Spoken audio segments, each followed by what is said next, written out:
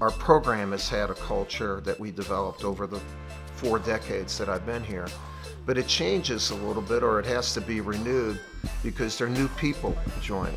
And the key people are the are the players. You try to work together, you know, give them opportunities, not just on the court, where they get to know one another. You don't just go on the court and go into games and say, okay, now we're together. No, you have to be together off the court. That's where it starts. Because then once you trust each other off the court, you can hang out together, you can laugh together off the court. Now, when you step onto that court, you're not going to be afraid to confront because you're friends now. You're real friends. You're not just saying it because you're wearing the same jersey.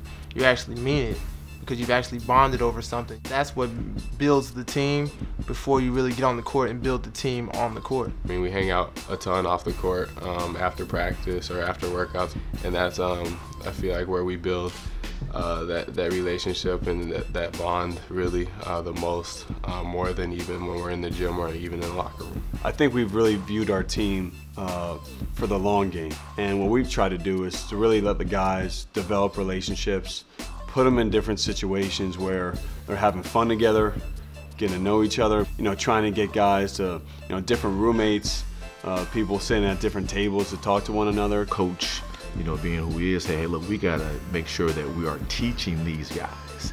And that's so important. When I, when I was a player at Duke, you know, you know, Coach Dawkins, you know, Coach Henderson, you know, they they, they taught me those things. Um, the players, you know, we, we, did, we had older players, Jeff Capel, you know, Trajan Langdon. You know, those guys taught me what it meant to be a Duke basketball player, and they continue to instill those values. I think the first key for building our culture is uh, leading by example. So all the older guys who have been here, who know what to do, first things first, we gotta show up and do what we're supposed to do. Second, we just have to spend time with them off the court. We gotta go hang out, play video games, watch TV, anything to just really get to know each other as quickly as possible. One of the reasons why I chose Duke was because on my visit I was so, you know, cool with the upperclassmen. I got along with them really well. So I know for me and some of the other guys, you know, we, we picked it specifically. One of the reasons was because the upperclassmen are such great guys. And just as an upperclassman, uh, what we've tried to do is really just create an environment of open doors for the young guys, like letting them know um, wherever we are, they're more than welcome to come through and hang out with us. We spent a lot of time uh, planning July through the Canadian trip. And what we try to do is to have different events. One, a barbecue at, at our house where the guys are playing games, they're in the pool. The barbecue at Coach's house especially set a really good tone because that was sort of when we really just first got here.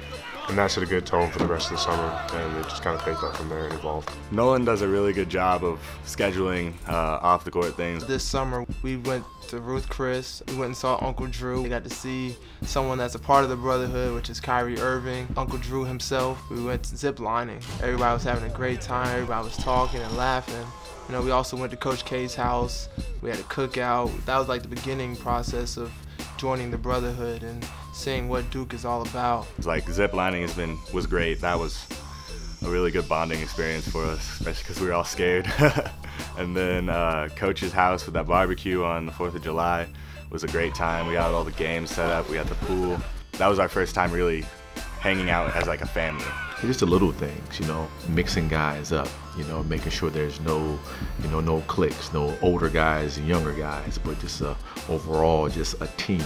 And I think, you know, this was a very important summer for us. And, you know, right off the bat, everyone bought in, everyone worked hard, and, you know, we were very pleased. You know, all the great Duke teams, all the really good teams that we've had, special teams that we had, we had teams that talk, whether they're talking trash or talking to each other, talking to the other team.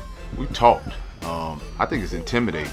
So what we're trying to get this group and what I've been trying to concentrate on and coach has and our coaching staff has is just talking. Kids don't talk anymore. But you get into the Instagram, the social media, the Facebook, the, the Twitter. We want to get these guys talking, man. That's what I've been trying to focus on amongst other things, showing them the Duke way, so to speak. And part of that is communication. The more they do it, the better they get at it, the better we'll be as a team. And obviously the, the trip to Canada was was huge. And what we wanted to do there was not do a lot of sightseeing, but rather uh, interaction, whether it be the cruise, whether it be the, uh, the CN Tower. They had fun. They had fun and, and they interacted.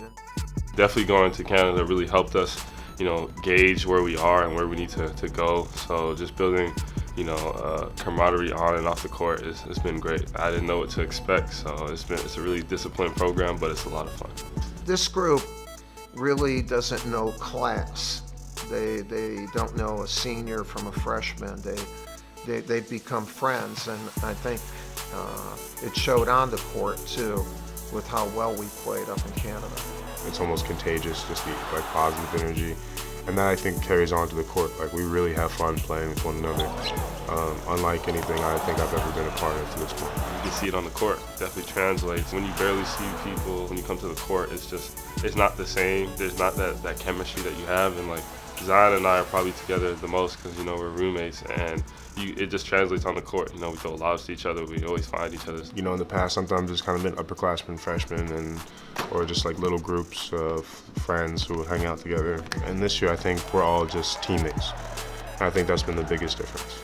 I think it starts with that, getting to know each other off the court, and then as we do more and more practice, more workouts, more individual work, uh, developing camaraderie and uh, that trust on the court. If you have that bond, uh, that means you're trusting one another and you're holding one another accountable. We get into tough situations in games, we're able to rely on each other and know that we got each other's backs.